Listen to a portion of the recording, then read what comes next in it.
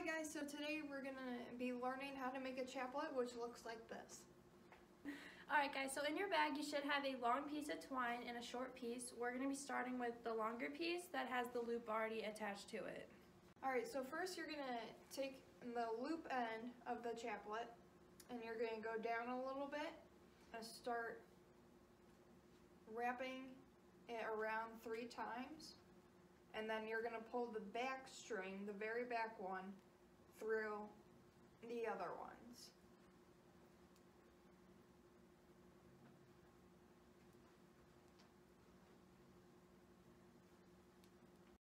Repeat that knot nine times so you have a total of 10.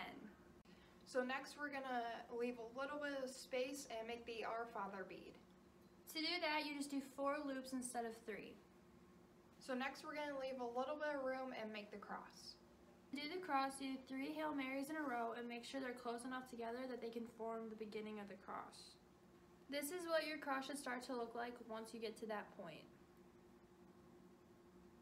Next, you want to take your shorter piece of string and all you want to do is wrap it together like this to make a little loop right there so that you can connect it to the cross, which we're going to show you how to do. Next you're going to take that loop that you tie it with the three Hail Mary loops.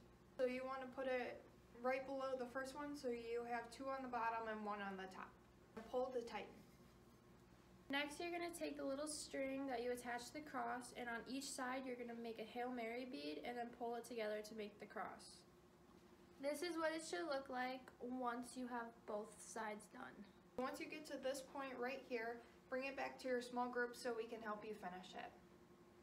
And then this is what it's going to look like afterwards. You can wear it as a bracelet or have it on your keychain or whatever.